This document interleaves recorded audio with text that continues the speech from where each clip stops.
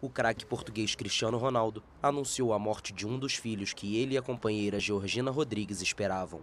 A namorada espanhola de origem argentina estava grávida de gêmeos e apenas a menina nasceu com vida. Nas redes sociais, o cinco vezes vencedor da bola de ouro disse que só o nascimento da criança dá forças para viver este momento com alguma esperança e felicidade.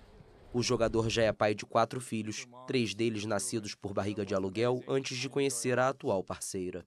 O casal, que se conheceu na época em que Ronaldo jogava no Real Madrid, tem uma filha de quatro anos juntos.